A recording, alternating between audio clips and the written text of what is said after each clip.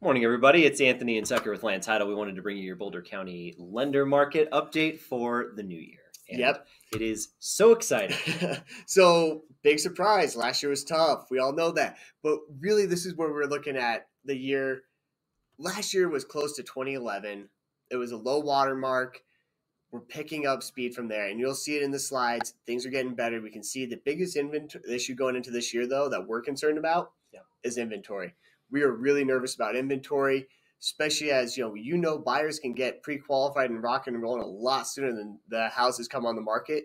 So we're expecting a little bit of a comp- more competitive market this spring, which means dust off all those tools. Remember all those tricks from, uh, you know, what was that, 21, 22? So don't forget about those tools. Don't forget about those tricks because we're going to need them this spring and this summer. Okay, so take a look at this. Let's, I'm just going to move to the next slide because we're going to talk inventory specific first. We have nearly a 40% drop in inventory. It's the largest drop in inventory we've seen in a December in a long time. Now, we did have a little bit elevated under contract numbers, but nowhere near this. So this means like 30 to 35% of all the inventory in the market actually just took themselves off the market. Yeah.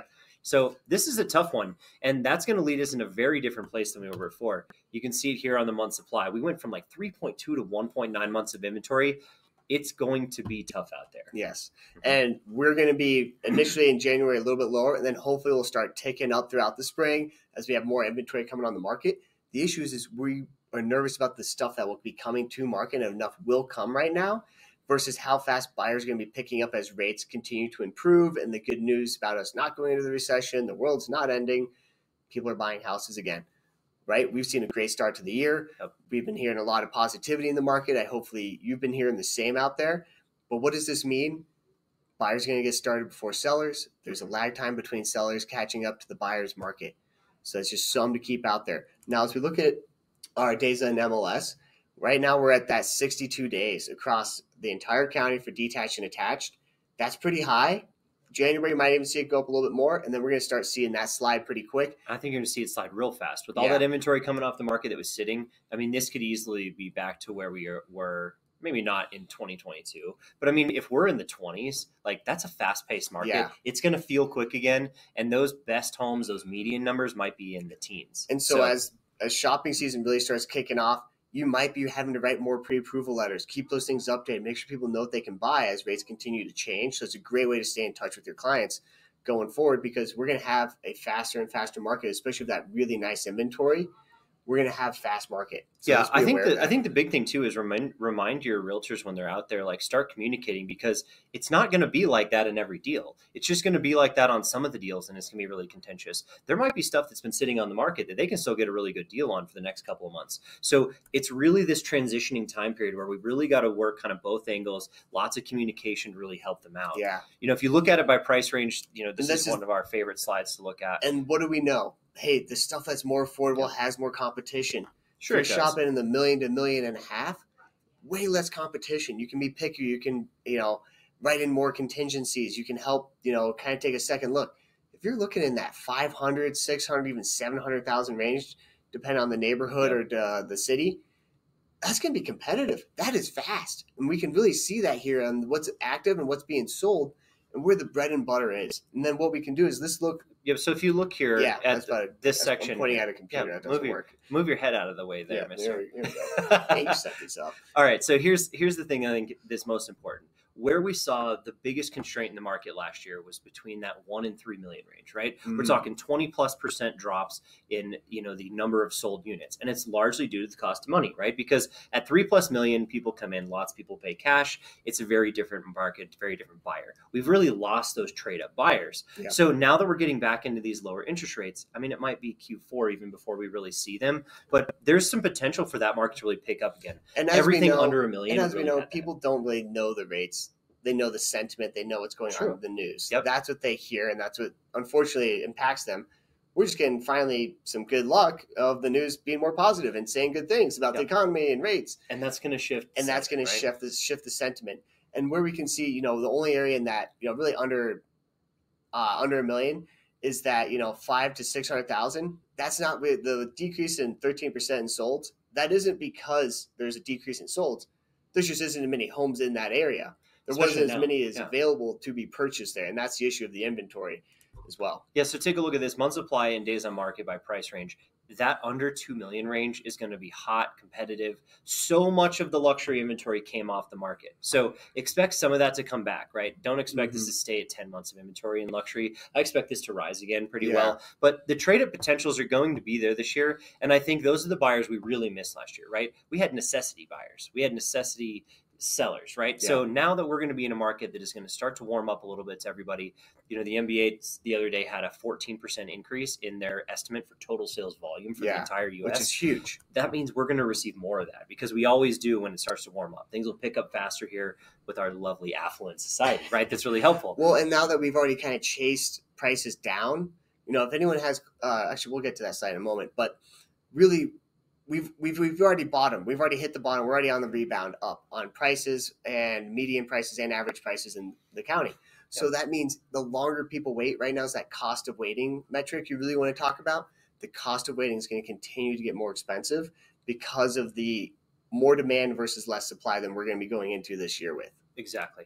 So let's talk about the elephant in the room and let's talk about sales price, right? So we had No, this is- oh, this, this is total sold. sales. This I'm sorry. Yeah. Next one, sales price. Yes. this Either way, these are the these are the elephant in the rooms, right? So this is so when we look look at year to date numbers, I think it's important to remember we were down 12% from 22.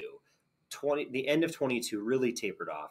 We finally saw some reprieve in those interest rates in December, right? Mhm. So we saw a little bump in December. That's a really good sign going into the new year. But what this means is we were down 12%. Let's pick up, call it 14% from this last year. 24 really should be a little bit Yeah. better than where 22 was, but it's going to be backloaded, not front loaded like we saw in 22. So a lot of the estimates were saying that Q4 might be as busy as Q2. and that's and that's really because of rates. And Yep. remember, that's not going to be Thanksgiving on. That's going to be.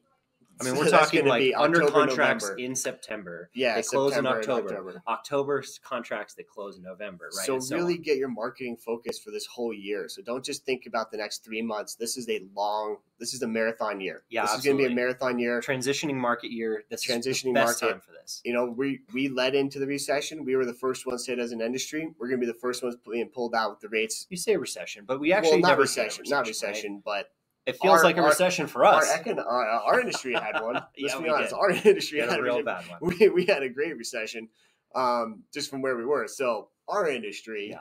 real estate, not the whole economy.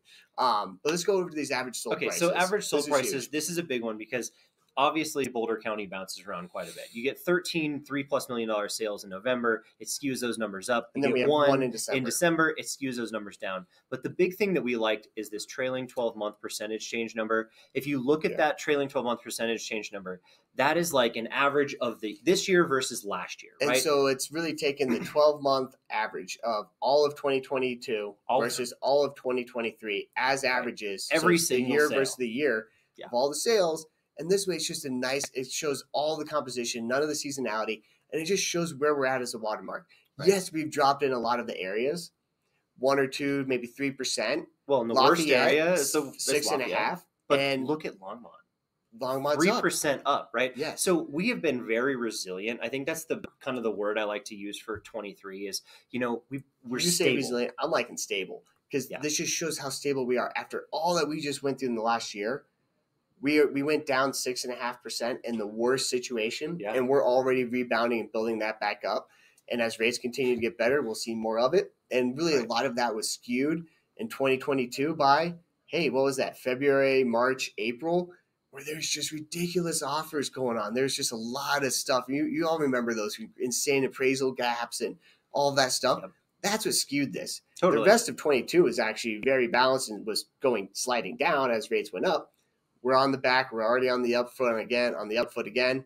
This is where we're going into this year, right? Yep. Prices are going to be going up again. Hopefully not as fast as they were though.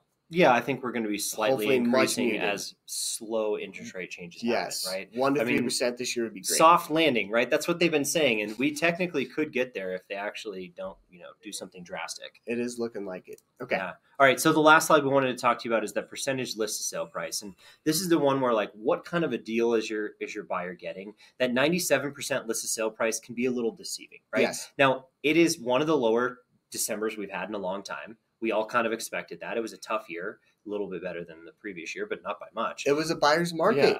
for the first time in what four years. It uh, was a Seriously, like a real buyer's market, like a right? real I mean, buyer's market. we had well, 40 to longer than that. 50 percent concessions on deals coming into land title, so that's why I say a little deceiving because this doesn't take into account for price drops or those price concessions, and both of those things were happening Yeah. on a lot of deals. Yeah. So this truly is the low watermark for our you know our real estate market and we're very optimistic about what's going on into 24 and we're already feeling it in the first you know The first week two of- weeks, the first two weeks have been yeah. drastically better than they were last year. And I'm sure if you talk to anyone out there, talk to your listing agents, you, I'm sure you're seeing buyers getting back into the market.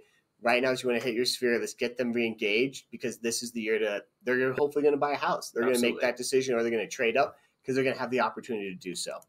absolutely well thank you for joining us today i'm anthony at land title I'm talking Brock with Land Title. we really appreciate you guys we can't wait to work with you in 2024 and let's have a great year Let's have a wonderful year, everybody. Take care. bye